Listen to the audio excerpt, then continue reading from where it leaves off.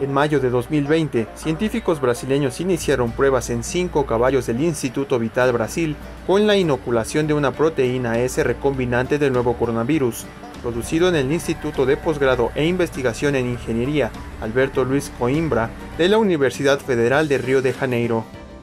Los resultados fueron sorprendentes, ya que después de 70 días los plasmas de los animales mostraron anticuerpos muy potentes contra la COVID-19, una idea que nació en un instituto con experiencia en el tratamiento de virus altamente patógenos.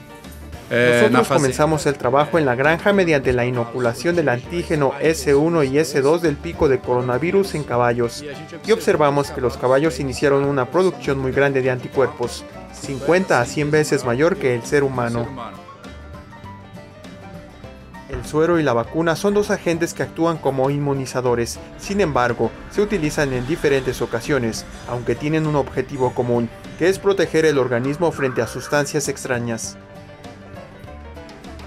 Nós já fornecemos Ya hemos proporcionado el anticuerpo equino al paciente con la enfermedad. La diferencia es que se administra una alta concentración de anticuerpos a estos pacientes enfermos para combatir esta infección.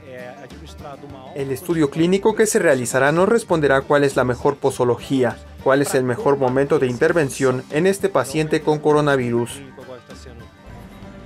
La sueroterapia es un tratamiento que ha sido utilizado con éxito durante décadas por el Instituto Vital Brasil contra diferentes enfermedades. Toda la historia de esta institución sirve como aval y es garantía de éxito en este emprendimiento.